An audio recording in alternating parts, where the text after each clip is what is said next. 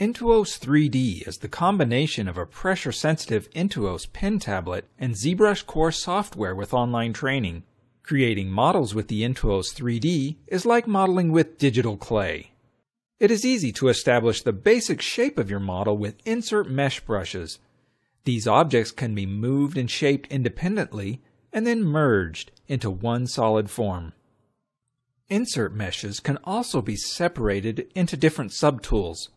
Each subtool can be worked on separately without affecting the other parts.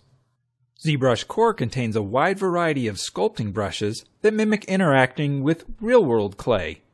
Add, subtract, carve, and sculpt with the help of the Intuos pen and tablet. You can create different forms and shapes, starting from a simple sphere.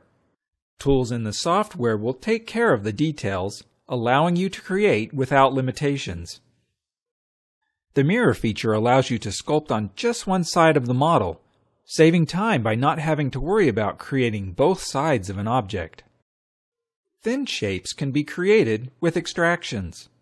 Draw out a shape with the masking brush, and the extract feature will create a new mesh. Many of the sculpting tools use pressure sensitivity, meaning the harder you press, the more effect the sculpting tool has on the model. The masking brush is also helpful in sculpting it is used to protect areas of the model or to help create specific shapes.